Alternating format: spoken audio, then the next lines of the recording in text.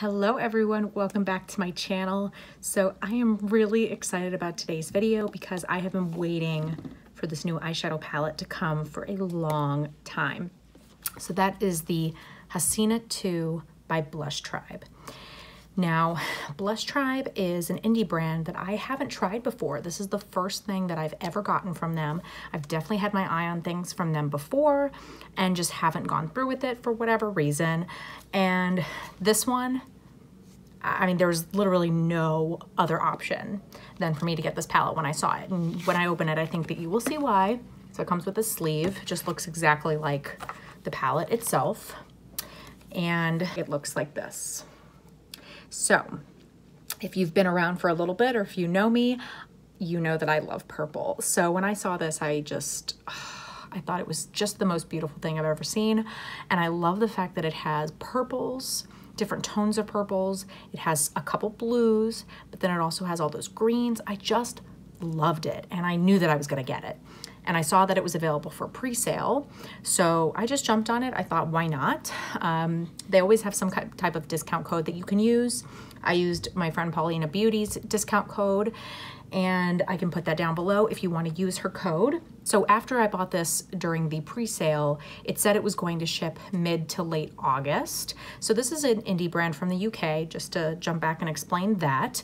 So it basically said in the email once I bought it, that once it did ship out, it could take two to three weeks to get to me. So I knew that it could take a little bit of time and plus, of course, I pre-ordered it. So I, I don't remember how long ago I pre-ordered it, but quite a few months ago. And so it finally did ship to me pretty much the end of August, which is fine. That was within the time that they told me. And it did get to me a full three weeks later. So it took a while. I was definitely feeling a little impatient, but I mean, that was definitely within the time that they told me. The only thing that was a little bit frustrating was the fact that it said that I wasn't going to be able to track it until it got to the US. But I don't know when that happened. I don't know when it got to the US because I never was able to figure out where to find a tracking number. It basically, at the bottom of the email, it said, you know, USPS tracking, and then there was nothing where a tracking number would be. And I actually emailed the company and asked them about it because I've never ordered from them before and I didn't know if that number was going to show up later, if I was going to be able to get that somehow, and I never heard back.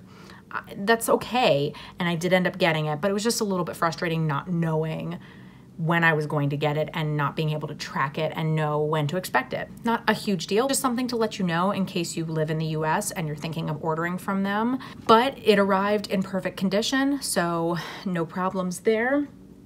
So what I'm gonna be doing today is basically a first impression on this. I haven't tried this palette and I haven't tried, like I said, anything from Blush Tribe at all. So this is basically my first impression on this palette and the brand in general.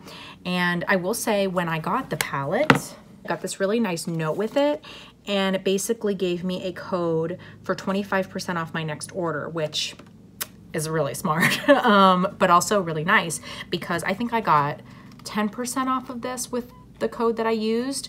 Um, so 25% off is really nice. So I definitely might have to use that in the future. Plus it doesn't say that there is a any type of expiration date on this. So we'll see, I'll keep you posted because there have definitely been other palettes that have intrigued me from them.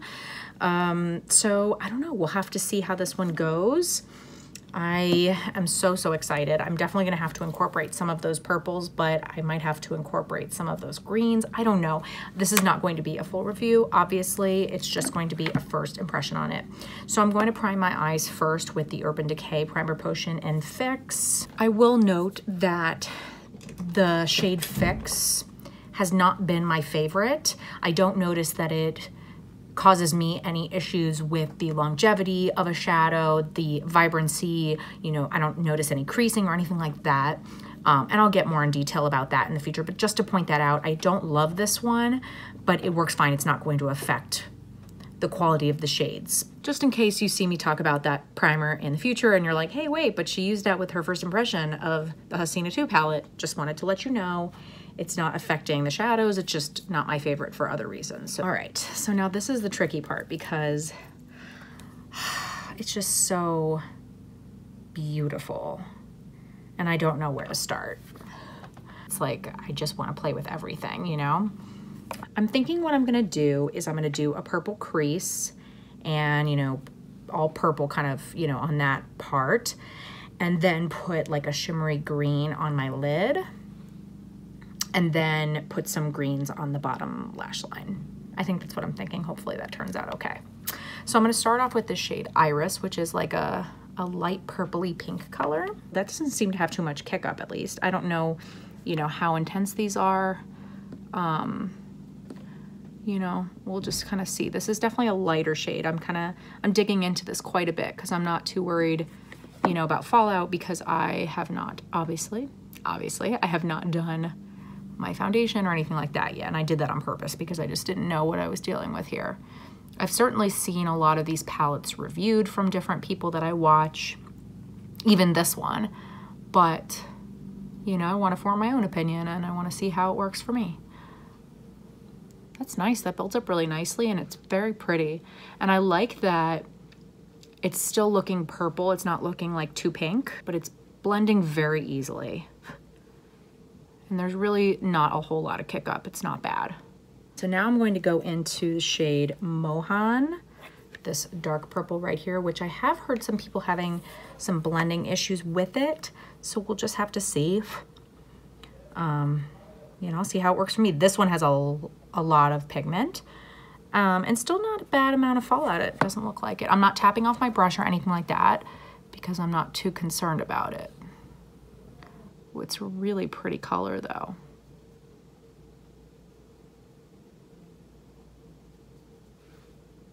Really pretty. I've definitely liked doing my eyes first lately when I can, just because then I don't have to worry about fallout. I don't have to worry about being light-handed and I can always clean it up. So I've preferred doing that anyway lately, but so far I haven't been getting any fallout even from like packing the shade on a little bit. And even if this is a little bit harder to work with, this purple, which so far it's seeming okay. Um, I mean, I haven't tried to blend it out too much yet, so we'll see. But, um, but purples are famously hard to formulate. They're just tricky shadows. You know, I don't mind that as long as it looks as beautiful as it does right here. Oh my God, how pretty is that? really, really pretty. But you can see, I mean, I, I'm having to work with it a little bit. You can see it just patches up a little bit there. But we'll, we'll figure it out. We'll get it there. Okay, so my camera stopped filming. Great. Um, but basically what I was saying was, you know, it definitely gets a little bit patchy there. You just have to be a little bit patient with it. I will go back in and fix it a little bit, but it may not be perfect. And that's okay. I'm okay with that but it is just a little bit trickier to work with than that first shade that I used. I also said that I was going to go in and just put a little bit of glitter base right here because I always do that with my shimmers just because I get transfer up here and this helps with that. So that's the only reason I do that. I do that with all of my shimmers. I also was saying that I would have normally maybe in this situation tried to do like a half cut crease, but I wanna see how they do mostly on their own. I may still go in and wet it, but I'm gonna first try and see how it looks without that. So I'm gonna go in with the shade Jade. I'm gonna be daring today. I'm gonna kinda mix and match a little bit more than I normally would. This color is just calling to me. It's so pretty. Um, all right, I got a good amount on my brush. Let's see how it does uh, without being wet. I probably am gonna need to wet this even with the base. I think so. I'm gonna have to wet it, which I don't mind. You may mind that. I really don't. That's typically what I do with shimmers anyway.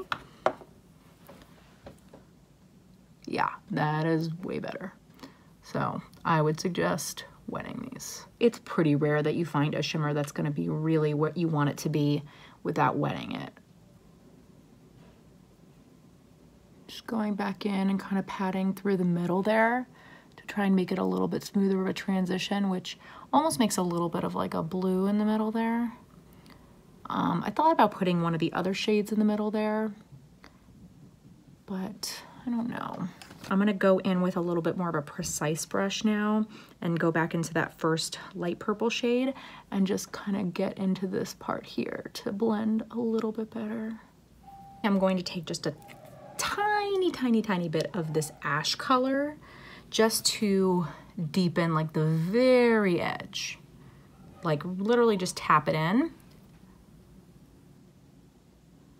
and just that so that it gets a little bit darker in that outer corner. Just a tiny bit. So I think that's all I'm going to do for the top right now. I'm gonna finish up the rest of my face and then we'll come back to do the lower lash line. Okay, so the rest of my face is done. If you are curious what else I am wearing, just check the description box. I will put everything down there for you. But let's keep going. That there really isn't anything for highlighting. Um, no matter what your skin tone actually. And that doesn't bother me because this is just like a palette where I can certainly do like basically a full look except for the highlight shades um, which I don't mind using like, you know, whatever highlighter I'm using as my inner corner, which is probably what I'm going to do actually. And you know, if I need other shades, I don't mind pulling them out. And if you're somebody who doesn't want to use all, you know, colors for a look, then you would have to pair it with something else. But again, that doesn't bother me. I have plenty of neutrals and other things if I wanted to do that. So I'm gonna do the lower lash line and then I'll do the inner corners. And I think what I'm going to do, because even though this is green here, it almost looks a little like bluish green just because I'm pairing it with the purples and things like that. And so I think it will look more green, you know, if I paired it with the greens. But I'm gonna take this shade Re, which is sort of like a, it's almost like a peacock green. I really like it. It's very pretty. Um, I'm gonna take that, I think, on my lower lash line. So, so pretty. I love that shade. That I am to tap off just a tiny bit, even though it doesn't look like there's a lot of kick up. But I just, now that I have my face done, I want to be a little more careful. And I'm to kind of pull it up a little bit just so that it goes with it a little better. It's really pigmented. Very, very pretty. Really do like that shade. I'm to take this shade Monique. I'm gonna put that on my inner corners and then I probably am gonna top it with a highlight shade just to like brighten it up because I don't think it's gonna be, you know, as bright as I want it to be. I'm gonna probably just go ahead and spray this because we saw how the other shimmer performed. So I just wanna go ahead and wet it and not waste my time. it actually is pretty bright. It's very pretty. Um, I think I just want to tap like a tiny, tiny bit of a highlight though, just to brighten it up a tiny bit more, but I wouldn't be mad at that. I really wouldn't. So I'm going to take, I used this highlight palette from BH Cosmetics, this black light palette. This is great for like even just inner corner highlights. And I'll take a little bit of, because I don't really want to change the color of it, so I'll just take this strobe, this like whitish one. Um, has a little bit of a pinky reflect, but mostly it's white. I'll just kind of tap that over top. See, that brightens it up a lot. And so I could have like just used this black light palette, you know, as an inner core highlight. I could have used, you know, I could have used like the blue in here or, you know, any of these other colors if I really wanted to like just highlight with something not in this palette completely. You know, just something to keep in mind that it is missing that if that's something that matters to you. I think this actually matches that lower lash line pretty nicely. This is the Marc Jacobs highliner in Whirlpool. Ooh, do I want to use that one though or this lavender one in Mist Me? I wish you guys were like live so I could have you like vote which one I should wear. Um, I think this might look too crazy if I put that there. It would still look pretty, I think, but this one's just gonna kind of match that lower lash line. My daughter's awake. She's just gonna have to wait. Yeah, that like matches it so well. Oh my gosh, okay. Really pretty. Okay, I'm going to do my mascara and put on some lips. If you were a lash person, then I would probably say put on lashes with this look. I am too lazy for that, so I'm just going to do mascara. So I'll see you in a sec. So this is the finished look. So first impressions, I'm loving it. I'm really excited about it. I think that the colors are so vibrant and they really look the way you want them to on your eyes. Obviously, I have not used all of these shades, so I'm gonna have to continue to use it. So definitely stay tuned to hear my final thoughts. I will do a full review on this palette, but if there are other type of looks that you'd like to see with this palette, like in particular, then let me know. I will definitely film some more with this though. I'd love to do, you know, some more with the blues and then maybe like just a green look or, you know, green and blue. Also, let me know in the comments below if there are other products that you want to see me use for the first time or review. I would love to hear from you. I hope you enjoyed seeing me play with this palette for the first time and also play with a Blush Tribe palette for the first time. Let me know if you have tried Blush Tribe and if you do, what you like from them, what palettes do you think are amazing. So far, I am very, very excited to try more from their brand. If you like this video, please make sure and give it a big thumbs up. That really does help out my channel so much. I post videos every single Monday and Thursday at 8 p.m. Central Time. If you are not subscribed, please hit the subscribe button. I would love for you to stick around, and I really hope to see you next time. Bye.